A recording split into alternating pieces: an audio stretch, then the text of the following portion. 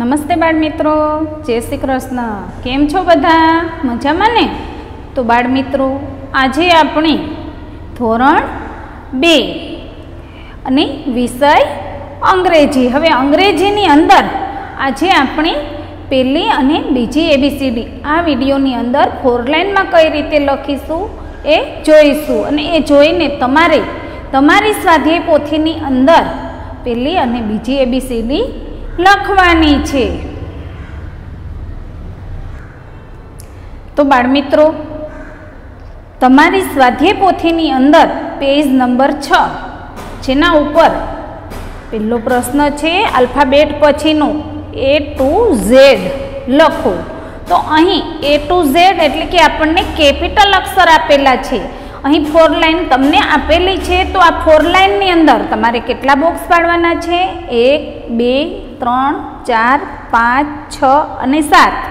છ અથવા તો સાત બોક્સ લીટી ગાળી અને વ્યવસ્થિત કરી લેવાના છે. અને ત્યારબાદ પહેલી એબીસીડી આપણે લખવા માટે પહેલી બે લાઇનનો જ ઉપયોગ કરીશું. કેપિટલ અક્ષર ઉપરની બે લાઇનની અંદર જ લખીશું. નીચેની આખી લાઇન ખાલી રહેશે.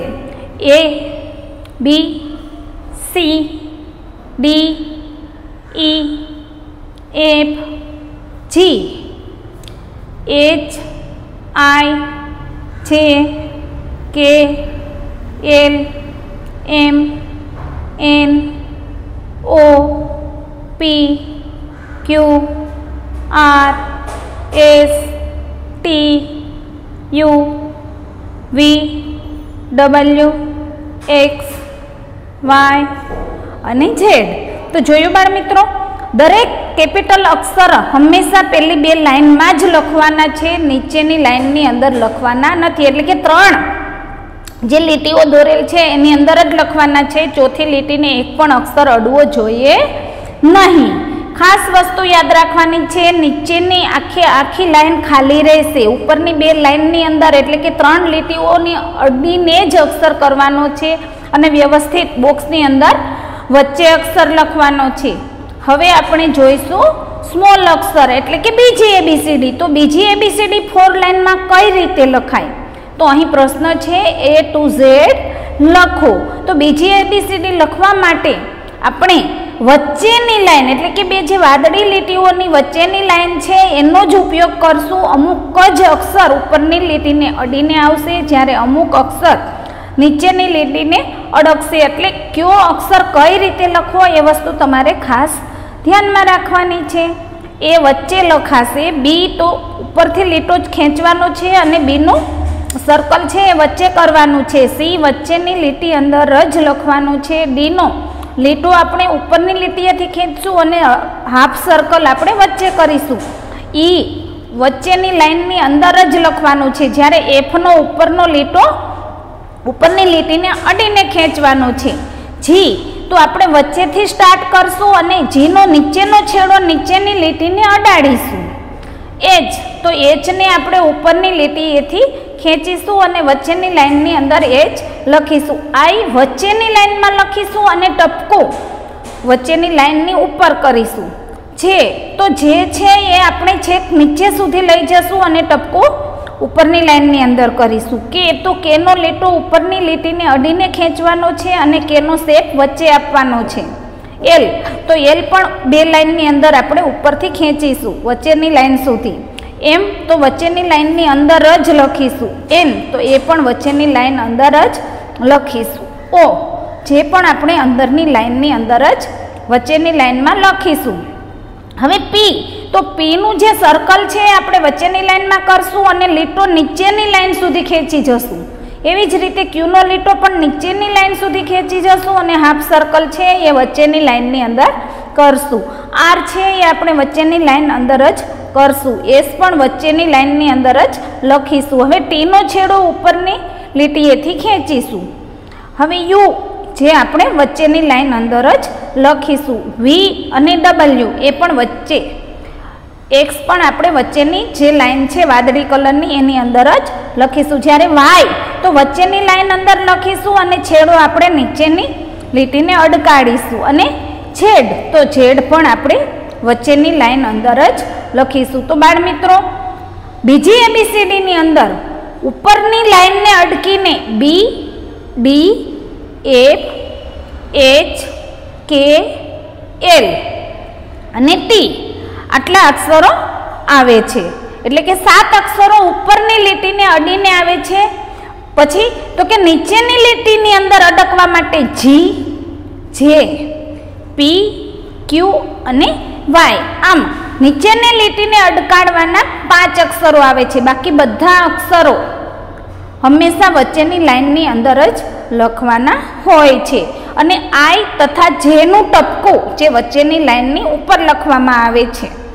તો બાળમિત્રો, આ રીતે તમારે આલ્ફાબેટ અને સ્મોલ લેટર બંને ફોર લાઇનમાં વ્યવસ્થિત નોટબુકની અંદર અને સ્વાધ્યાય બુકથીની અંદર સારી રીતે લખવાના છે. હવે આપણે જોઈશું પેજ નંબર સાત ઉપર. તો પેજ નંબર સાત ઉપર ફન ટાઈમ. આલ્ફાબેટનું ફન ટાઈમ આપેલું છે. ચિત્ર જોઈ એ, ઈ, આઈ, ઓ, યુ વડે ખાલી જગ્યા પૂરો. તો એના માટે એક્ઝામ્પલ આપેલું છે હટ ટોપીનું ચિત્ર આપવું છે હેટ એટલે ટોપી. તો અહીં એચ અને ટી આપેલા છે એ વડે ખાલી જગ્યા પૂરી છે. હવે બીજું ચિત્ર લેગ. તો એલ ઈ જી ઈ વડે આપણે ખાલી જગ્યા પૂરીશું. ત્રીજું ચિત્ર પીગ એટલે કે ડુક્કર. તો આઈ વડે ખાલી જગ્યા પૂરીશું. ચોથું ચિત્ર ગન, તો જી યુ એન ત્યાર પછીનું ચિત્ર ટોપ, તો ટી ઓ પી હેન તો એચ ઈ એન એન્ટ, તો A N T pin P I N mop, પોતું, એટલે કે એમ ઓ પી હટ તો H U T log L O G fan F A N bin B I N tap T A P pen P E N egg E double G bus B U S map M A P આ રીતે એ ઈ આઈ ઓ you વડે ચિત્ર જોઈ અને આપણે ખાલી જગ્યાઓ પૂરી. હવે આપણે જોઈશું પેજ નંબર આઠ. હવે પ્રશ્ન છે, સમાન ઉચ્ચારવાળા શબ્દો લખો. તો અહીં આપણને એક શબ્દ આપેલો છે, કેન. તો કેન માટે સમાન ઉચ્ચાર એટલે કે પાછળના બે શબ્દો સરખા આવતા હોય એનો ઉચ્ચાર સરખો થાય છે. એટલે અહીંયા કેન માટે તો કે ફેન એફ એન અને વી એ એન બીજો શબ્દ છે ફેટ. તો ફેટ માટે બેટ અને કેટ બી એ ટી અને સી એ ટી હવે ગોટ તો જી ઓ ટી તો સમાન ઉચ્ચારવાળો શબ્દ થશે પોટ પીઓટી અને નોટ એન ઓ ટી હવે કોઈ.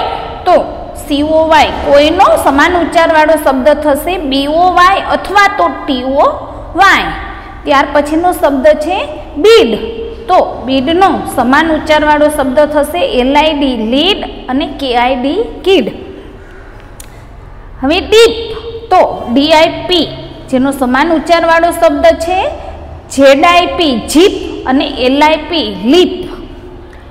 Man. M E N તો મેનનો સમાન ઉચ્ચારવાળો શબ્દ થશે ટીઈ એન અને પીઈ એન કેજ. તો કેજ માટેનો સમાન ઉચ્ચારવાળો શબ્દ છે લેગ અને બીજી બેગ. એલઈજી અને બીઈ જી ત્યાર પછીનો શબ્દ છે રન. Are U N. જેનો સમાન ઉચ્ચારવાળો શબ્દ થશે સન. એસ યુ એન અને gun. G U N. Rub. તો આર યુ બી જેનો સમાન ઉચ્ચારવાળો શબ્દ છે કબ સી યુ બી અને tub T U B cut. તો સી યુ ટી જેનો સમાન ઉચ્ચારવાળો શબ્દ છે હટ એચ યુ ટી અને નટ એન યુ ટી હવે મિક્સ એમઆઈ એક્સ જેનો સમાન ઉચ્ચારવાળો શબ્દ છે ફિક્સ એફઆઈ એક્સ અને એસઆઈ એક્સ ત્યાર પછી મેપ તો એમએપી જેનો સમાન ઉચ્ચારવાળો શબ્દ થશે સીએપી કેપ અને ટેપ ટીએ પી કોઈ પણ એક શબ્દ લખવાનો છે. ત્યાર પછીનો શબ્દ છે ફિન.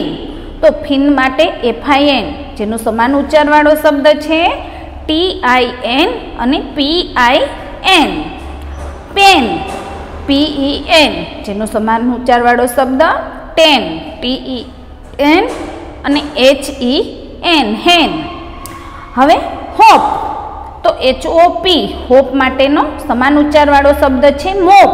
એમ ઓ પી અને top T O P get G E T get માટેનો સમાન ઉચ્ચારવાળો શબ્દ છે જેટ જીઈ ટી અને પેટ પીઈ ટી પછી બે બીયુ જી તો બગનો સમાન ઉચ્ચારવાળો શબ્દ છે મગ.